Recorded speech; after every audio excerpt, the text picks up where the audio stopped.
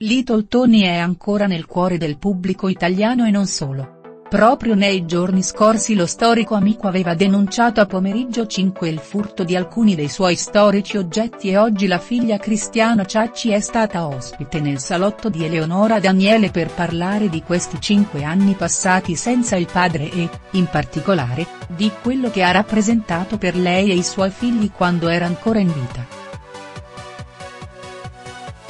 Lui era pazzo per i suoi nipoti, amava raccontare loro della sua vita sul palco ma anche di tutto quello che c'era dietro le quinte e di come era stata la sua gioventù in un'epoca diversa da questa.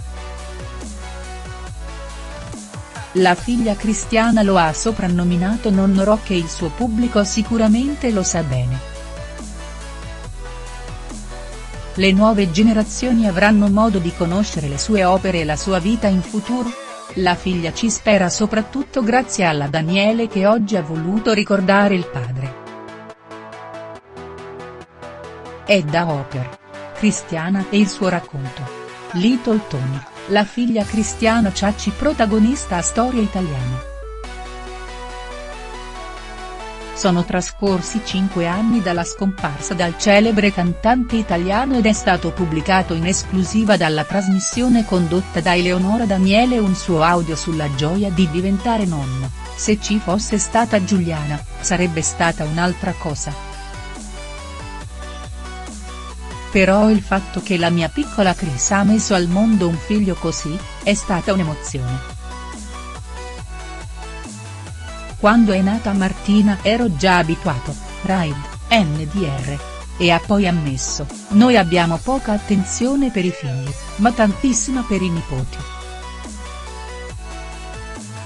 Cristiano Ciacci ha confermato la grande passione del padre per i suoi nipoti, lui stravedeva per i nipoti, è stato un papà un po' assente, ma molto presente per i suoi nipoti. È come se attraverso i suoi nipoti volesse fare ciò che non ha fatto per me. L'aneddoto su Cuore Matto.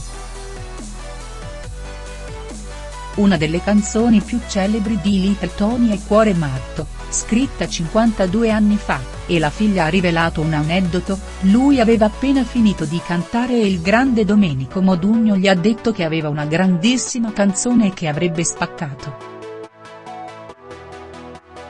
Cristiano Ciacci ha portato avanti l'eredità artistica del padre Little Tony, proseguendo la carriera da cantante e affiancandolo in passato anche sui palchi.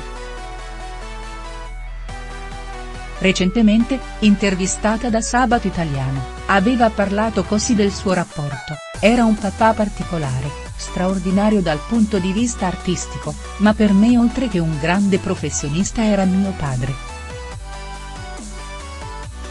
Ogni tanto discutevamo un po', ma lui giustamente per fare il suo mestiere era costretto a lasciarmi sola. Il nostro è stato per un po' un rapporto difficile perché per come gli volevo bene lo volevo più vicino a me. Andando avanti l'ho perdonato e ci siamo ritrovati.